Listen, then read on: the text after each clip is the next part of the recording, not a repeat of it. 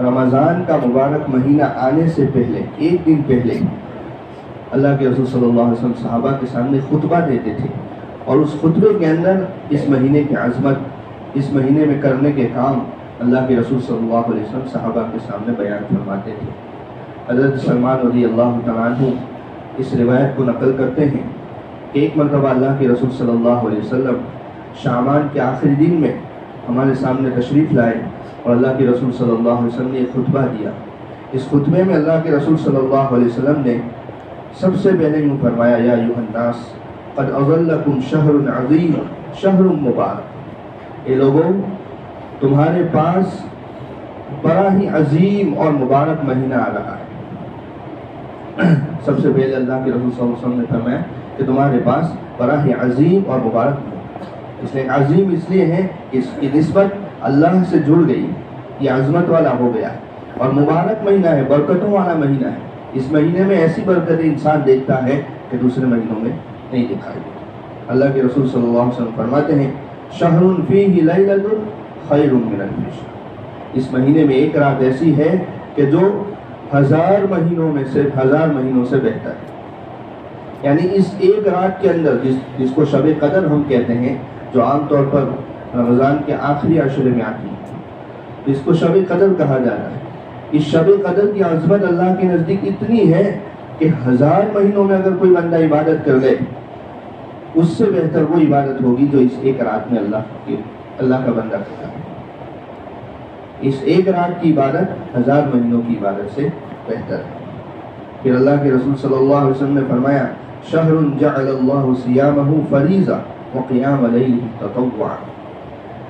کہ ایسا مہینہ ہے کہ اس مہینے کے روزے کو اللہ نے فرض کیا اور اس مہینے میں راتوں کو قیام کرنا، اللہ کے سامنے کھڑا ہونا، نمازیں پڑھنا، قرآن پڑھنا، نمازوں کے اندر اس کو اللہ نے نفل کیا۔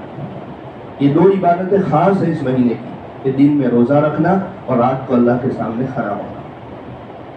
اس لیے حدیث پاک کے اندر اللہ کے رسول صلی اللہ علیہ وسلم نے فرمایا، من صام رمضان ایمانا و احتسابا، غفر له ما تقدم من ذنبه اور دوسری روایت میں ہے، من قام رمضان ایمانا و احتسابا، غفر له ما تقدم من ذنبه کہ جو آدمی اللہ کے سامنے، اللہ کو راضی کرنے کے لیے، اللہ کو خوش کرنے کے لیے دن میں روزہ رکھتا ہے، رات کو قیام کرتا ہے، اللہ کے سامنے کھڑا ہوتا ہے، اس کے سارے کے سارے پچھلے گناہ اللہ معاف کر دیتے ہیں روزے کی بھی عظیم فضیلت اور رات کو اللہ کے سامنے کھڑے ہونے کی بھی عظیم فضیلت۔ پھر اللہ کے رسول صلی اللہ علیہ وسلم نے فرمایا، من تقرب فيه بخصلة من الخير كان كمن ادى فريضة فيما سوا. کہ جو آدمی اس مہینے میں کوئی ایک خیر کا کام کرے گا، ایک بھلائی کا کام کرے گا، ایک نفلی کام کرے گا، تو وہ ایسا ہوگا جیسا کہ اس نے دوسرے مہینوں میں کوئی فرض کام کیا۔ چونکہ فرض کام کی عظمت اور فرض کام کا اجر و ثواب زیادہ ہوتا ہے نفل کے مقابلے میں۔ جیسے ایک آدمی فرض نماز پڑھتا ہے، دو رکعت اس نے فجر کی فرض نماز پڑھی، تو اس کا جو ثواب ہے وہ دو رکعت نفل اور سنت سے زیادہ ہوگا۔ تو اللہ کے رسول صلی اللہ علیہ وسلم فرما رہے ہیں کہ اس مہینے کے اندر اگر ایک خیر کا کام کیا، کوئی بھی خیر کا نفلی کام، تو اللہ کے رسول صلی اللہ علیہ وسلم فرماتے ہیں کہ دوسرے مہینے میں فرض کے برابر یعنی اس مہینے میں اللہ کے رسول صلی اللہ علیہ وسلم نے نفل کا ثواب فرض کے برابر۔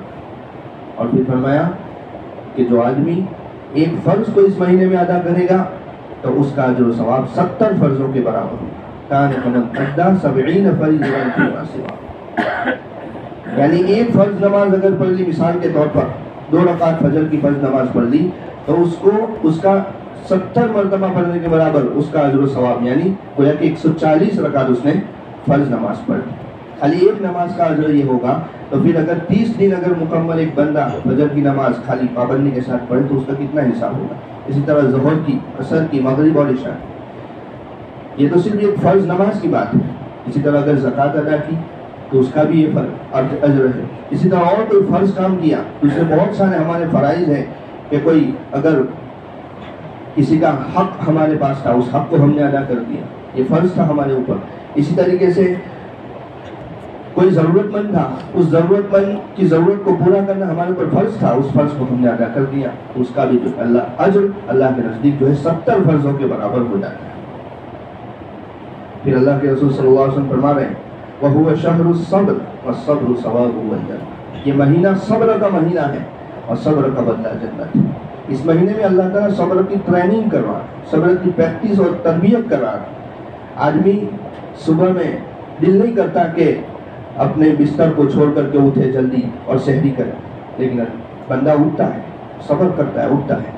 اسی طریقے سے پورا دن بھوکا پیاسا رہنا آدمی کو برداشت نہیں ہوتا عام دنوں میں، لیکن اس مہینے میں بندہ برداشت کرتا یہ صبر کی ٹریننگ ہو رہی ہے، صبر کی پریکٹس ہو رہی ہے، تربیت کروائی جا رہی ہے۔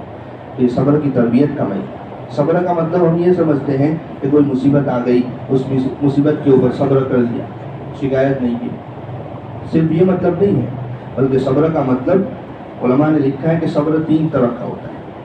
ایک صبر تو یہ ہوتا ہے کہ آدمی اللہ کا کوئی حکم ہے، اس حکم کو پورا کرنے کے اوپر نفس پر بوجھ پڑ رہا ہے۔ اور نفس نہیں چاہ رہا ہے کہ اللہ کے اس حکم کو پورا کرے، جیسے ٹھنڈی کا زمانہ ہے، اللہ کا حکم آ رہا ہے۔ کہ فجر کی نماز کے لیے مسجد چلو۔ اس وقت نفس نہیں چاہ رہا ہے، لیکن اس کے باوجود نفس کو مطمئن کر کے، نفس پر بوجھ ڈال کر کے بندہ جب مسجد کی طرف رک کرتا ہے، ٹھنڈے پانی سے وضو کرتا ہے، تو یہ بھی اس کا صبر ہے۔ صبر کہتے ہیں، اللہ کو راضی کرنے کے لیے اپنے نفس کے خلاف کام کرنا اور اللہ کے حکم کو پورا کرنا۔ اس کو کہتے ہیں صبر۔ تو ایک تو ہوتا ہے اللہ کی اطاعت پر صبر۔ اور دوسرا صبر ہوتا ہے گناہوں پر صبر دل چاہ رہا ہے کہ میں گناہ کر لوں۔ دل چاہ رہا ہے کہ کسی اجنبی عورت پر میری نگاہ پڑ جائے۔ لیکن اس وقت اللہ کا حکم یاد آتا ہے کہ اللہ نے قرآن میں فرمایا ہے کہ کسی اجنبی عورت پر ہم نظر نہیں ڈال سکتے، گندی نظر نہیں ڈال سکتے۔ تو اس وقت اللہ کے اس حکم کو سامنے رکھ کر دل تو چاہ رہا ہے، لیکن اس دل پر بوجھ ڈال کر کے اپنے آپ کو بچا لیتا ہے، بدنگاہی سے اپنے آپ کو بچا لیتا ہے، تو یہ صبر عالم معصیت ہے کہ گناہ سے اپنے آپ کو اس نے بچا لیا، گناہ پر اس نے صبر کیا۔ اسی طریقے سے صبر کی تیسری قسم یہ ہے کہ آدمی مصیبت کے اوپر صبر کرے کوئی پریشانی آ گئی، کوئی مصیبت آ گئی، مالی مصیبت آ گئی، جانی مصیبت آ گئی، تو اس مصیبت کے اوپر آدمی صبر کریں یعنی شکایت نہ کریں کہ اللہ میرے ساتھ ہی ایسا کام کرتا ہے، میرے اوپر بھی اللہ مصیبت میرے اوپر ہی اللہ مصیبت بھیجتا لیتا ہے۔ ایسی شکایت اس کی زبان پر نہ آئے، بلکہ صبر کرے، راضی رہے کہ نہیں، اللہ نے اس کے اندر کوئی مصلیحت رکھی ہوگی اور یہ تو میرے کسی گناہ کی وجہ سے میرے اوپر یہ مصیبت آئی ہوگی۔ اس طرح اگر صبر کرتا ہے تو یہ صبر مصیبت ہے یعنی مصیبت کے اوپر سے۔ تو یہ تینوں طرح کا صبر، اور اس کا خلاصہ کیا ہے؟ کہ آدمی کے دل کے اندر جو چاہت پیدا ہوتی ہے اور وہ چاہت اللہ کے حکم کے خلاف ہوتی ہے، اس چاہت کو دبانا، نفس پر بوجھ ڈال کر کے اللہ کے حکم کو پورا کرنا، اللہ کو راضی کرنے کے لیے اسی کا نام صبر ہے۔ تو اللہ کے رسول صلی اللہ علیہ وسلم کیا فرما رہے ہیں؟ کہ یہ صبر کا مہینہ ہے۔ اس مہینے میں صبر کی تربیت ہو رہی ہے۔ کیسا صبر بندہ کرتا ہے؟ عام دنوں کے اندر اگر وقت پہ کھانا نہیں ملتا تو بندہ پریشان ہو جاتا ہے۔ تھوڑی دیر ہو جاتی ہے تو بندہ پریشان ہو جاتا ہے۔ لیکن رمضان کے مبارک مہینے میں بارہ گھنٹے، تیرہ گھنٹے تک بھوکا رہنا پسند یہ صبر ہے۔ اور اللہ کے رسول نے کیا فرمایا؟ ثواب ہوا الجنہ، صبر کا بدلہ جنت ہے۔ یعنی جو آدمی صبر کرے گا، ہر طرح کا صبر، صرف رمضان کے مہینے میں نہیں، پوری زندگی صبر کے مطابق گزارے گا۔ اطاعت پر صبر کرے گا، گناہ پر صبر کرے گا، اور مصیبتوں پر صبر کرتے ہوئے زندگی گزارے گا۔ تو اس کا بدلہ کیا ہے؟ جنت ہے۔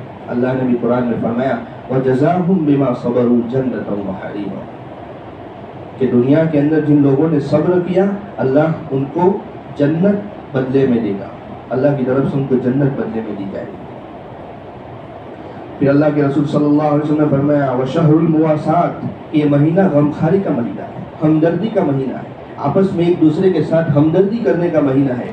اس مہینے میں بندہ بھوکا رہتا ہے، تو بھوکا رہنے کی وجہ سے بندے کو کہیں نہ کہیں اس بات کا احساس ہوتا ہے بارہ گھنٹے تک بھوکا رہنا میرے لیے مشکل ہوتا ہے۔ تو بہت سارے دنیا میں ایسے مسلمان ہیں، ایسے انسان ہیں کہ جو کئی کئی دن تک فاقے کی زندگی گزارتے ہیں، جن کے پاس کھانے کا کچھ نہیں ہوتا۔ تو اس طریقے سے ایک روزے دار کے دل میں ہمدردی پیدا ہوتی ہے، پھر اس ہمدردی کے نتیجے میں وہ ان کی مدد کرتا ہے۔ اس لیے اللہ کے رسول فرما رہے یہ ہمدردی کا مہینہ ہے۔ اس مہینے میں جیسے صبر کی ٹریننگ ہوتی ہے، صبر کی تربیت ہوتی ہے، اسی طریقے سے ہمدردی کی بھی تربیت ہوتی ہے۔ چنانچہ ہم سب دیکھتے ہیں کہ اس مہینے میں جتنا بندے کو دوسروں کے اوپر مال خرچ کرنے کا جذبہ پیدا ہوتا ہے، وہ دوسرے مہینے میں پیدا نہیں ہوتا۔ یہ اللہ کی طرف سے ایک ماحول اس طریقے سے بنایا ہوا پھر اللہ کے رسول فرما رہے ہیں، وشهر يزاد فيه رزق المؤمن کہ یہ مہینہ ایسا ہے کہ اس میں مومن کا رزق بڑھا دیا جاتا ہے۔